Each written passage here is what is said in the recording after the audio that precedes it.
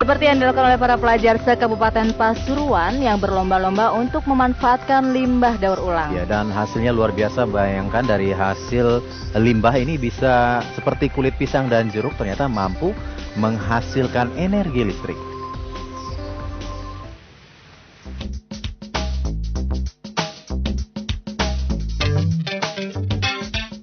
Seperti inilah suasana ajang lomba kreatif daur ulang limbah yang diadakan di SMAN Kejayan Pasuruan. Dari puluhan pelajar peserta ada satu yang menarik perhatian, yaitu karya kreatif daur ulang Irfan Amiruddin dan Lailatul Nadia.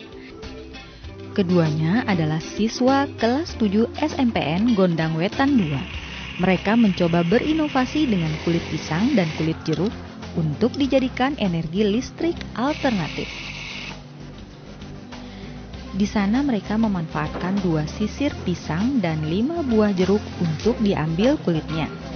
Melalui beberapa proses, ternyata kandungan glukosa dari kulit pisang dan jeruk itu menghasilkan asam aseta untuk penghantar listrik dan menghasilkan energi listrik hingga sebesar 1,5 watt.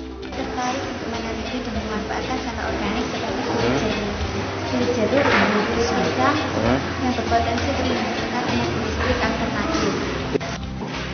Selain sebagai penghasil listrik, daur ulang limbah ini juga bisa dikreasikan untuk membuat kertas atau kerajinan tangan yang menarik.